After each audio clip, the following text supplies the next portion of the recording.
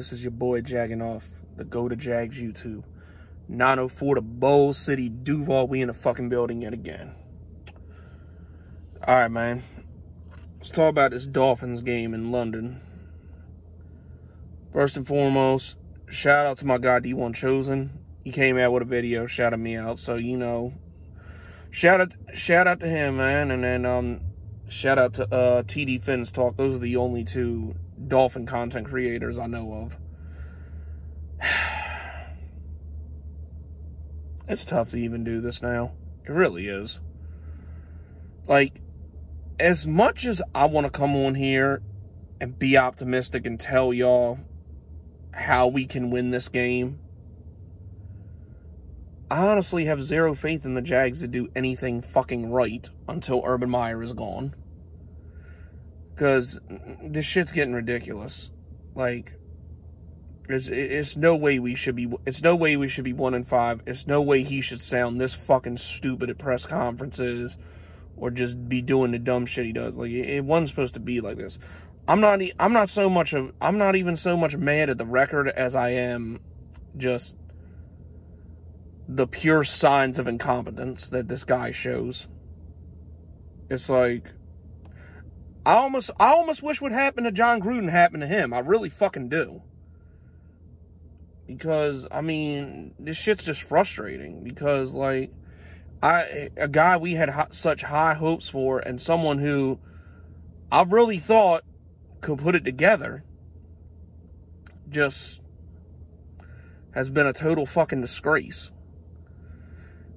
And and you know it baffles me that people still defend it. Like it's it's not showing signs of getting better. It's really not and it, and then I hear and then I hear other media people saying that oh it's just a, oh it's just be a lot of it may have to do with the Jaguars lack of talent. Bullshit.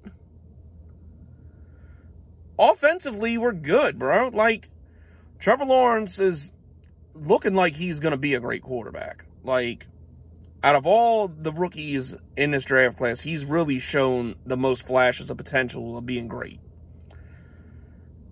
You got James Robinson, who's a top five running back in the league right now. Um, the offensive line's playing good. Um, Laviska, Laviska Shenault, if we would throw to him more than one time, one to three times a fucking game, and if we really had a true number one receiver, because I'm sorry, even though he's hurt, but I'm sorry, as much as I like DJ Chark, he ain't it. And he's probably gone next year. But um, but yeah, we would throw to Laviska Shenault more than one to three times a game. He'd be a fucking one of the best slot receivers in the league. And then, um, you know, we got burners like Jamal Agnew and Tavon Austin who are a threat to score anytime um, they touch the ball just solely because of their speed. It's like really all we're, it's like really all our offense is missing is a little bit more experience with Trevor, um, a number one receiver, and you know, the offensive coordinator could use, we could use a better one of those. Defense has been the main issue. Like, even though there is talent there, like, they're okay. Like, the D line's okay at stopping the run. We have one of the best young pass rushers in the league in Josh Allen, but he has no help. And don't give me this K'Lavon Chaisson shit just because he had one good game. It's like, I don't believe you yet. Have a couple more good games and, you know, we'll talk. And then um, Myles Jack, great linebacker. You know, his supporting cast of linebackers okay. And then um, we have a damn good safety in Jenkins. We have a damn good corner in Shaq Griffin. But they have no help. It's like it's stuff there. We're just missing a few pieces, and we're miss and we're missing a coach that knows what the fuck he's doing. That's really what it boils down to. Oh, and the fucking kicking game hasn't helped matters either. I mean, what's it what's it been since fucking week 15 last year when we made a field goal? Like that's sickening. But anyway, I mean, this is a game we could win. I mean, I would have felt a little bit better if I knew Jacoby Brissett was playing because Jacoby Brissett has been fucking ass. I mean, if, if we would have found a way to fuck that up, I mean, my God. But unfortunately, Tua did get activated from IR, and it looks like, and chances are he's going to play, which really sucks because I was like, damn, you couldn't wait one more week. But, ugh, God. So, like, I mean, not the Tua is a world beater or anything, but fucking Jacoby Brissett's just ass, and like, we need someone like that to make our defense look somewhat respectable. And I'm telling you now, dude, like, despite all the bullshit, this is a game where the Dolphins really can't get out of their own way. So really, if a game, if a decent game plan is put together, and you know we give James Robinson his proper, his proper touches and stop with this Carlos Hyde shit, and then um, you know give Laviska proper targets, you know.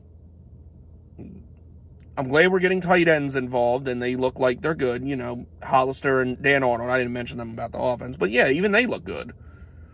But um, if we put together a solid game plan and don't like shoot ourselves in the foot on defense with dumb shit, we really should have a decent chance to win this game. But like I said, I can't I, I can't trust the Jaguars to do anything right. But if we do lose, man, Urban Meyer's ass needs to be left there in London. I don't care. Like, we only had six games. Like, bro, you can tell whether a coach is going to pan out or not. Like, some take a little bit longer than others to show. And it's not looking like that with Urban Meyer. Like, he, I hope he proves me wrong. I want to be proven wrong. I really do. Like, I want Chaisson to prove me wrong, and I want Urban Meyer to prove me wrong.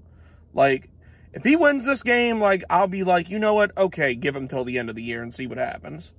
But if this is probably, but besides the Texans, this is probably the most winnable game left on our schedule. So if you can't win this game, like, I don't even know what to, I don't know what to even say. Like, it's just all hope is lost, and we could be the first 0 17 team in history, which is sad to fucking say. I don't know, man. I, I just just somehow I hope they find a way, man. That's that, that's all I can really say. Like just somehow in a winnable situation, you know, you're going to London just and you know that can flip-flop any fucking thing. Just just find a fucking just really just find a fucking way to win a game. Like I I, I don't even know. And and yeah, getting back to Chaisson, yeah, I want him to be good. Like I want him to turn it around. I really fucking do. Because that was a pick we got because one, that was a pick we got in the Galen trade. And two, like right now, I'm hard on the tank for Thibodeaux tra- uh, bandwagon. But really, if Chaisson's good and you know we keep and you know our pass rush gets better, you know we can get we can draft Daryl Stingley. Or if we can't get Cam Robinson back, we can get the left tackle from Alabama. Like, you know, just little things like that, just little things like that'll help the cause. Because we definitely need a cornerback. So if we find a good pass rush for a couple years, you know, we won't have to add another one. As much as I do love Thibodeaux and I think he can play on the inside too. Like as much as I love him too, but like we need but you know, we need other shit. Like we need, but um,